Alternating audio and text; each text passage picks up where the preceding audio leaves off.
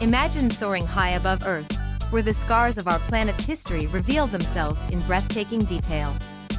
From space, impact craters tell stories of cosmic collisions. Take the Barringer crater in Arizona, a perfect circle formed just 50,000 years ago, showcasing nature's raw power. Then there's the Chicxulub crater in Mexico, a massive remnant of the asteroid that contributed to the dinosaurs' extinction, a reminder of how life can change in an instant. Traveling to Russia, we find the Tunguska event site, where a mysterious explosion flattened 2,000 square kilometers of forest in 1908, leaving no crater but a lasting enigma. Over in Canada, the Sudbury Basin, one of the largest impact structures, reveals a rich history of mining and geology.